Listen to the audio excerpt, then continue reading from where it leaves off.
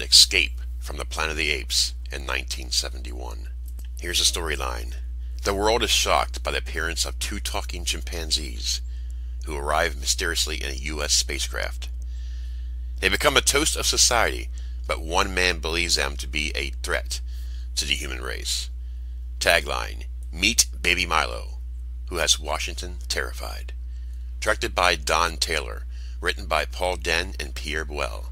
Released May 21st, 1971. Here's the cast. Roddy McDowall as Cornelius. Kim Hunter as Zira.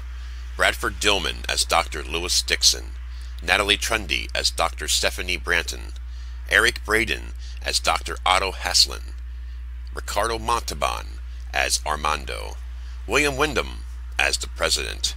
Sal Mineo as Milo. And John Randolph as Commissioner Chairman. There's obviously a lot of familiar voices in this film, and also actors, of course. First, you have Roddy McDowall, Cornelius, Kim Hunter as Zira, Bradford Dillman, Dr. Lewis Dixon. You have Eric Braeden, who played Dr. Otto Hasslein, which later on he plays Victor Newman in The Young and the Restless. John Randolph, who played the father of Roseanne on the Roseanne show.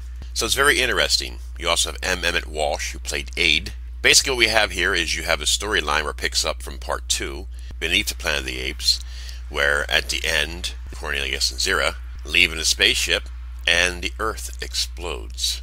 So they end up in present day. People are excited to see talking apes. But Dr. Otto was threatened by these talking apes, fear of them taking over the world later on. So the story starts there. Turns out that Zira is pregnant.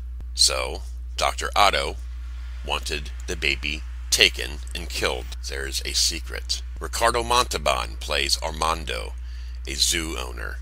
That's all I will say. Very interesting, nice story. This is Gruesome Hertzogg's horror movie review. I give this one a 7 out of 10. Nice story, nice idea, and of course, great acting. This is Gruesome Hertzogg's horror movie review, and I'm out of here. Gruesome Hertzogg, the voice of horror. Do you like horror? Well, I do. So tune in to Gruesome Hertzogg's horror movie review. A little creepy, though.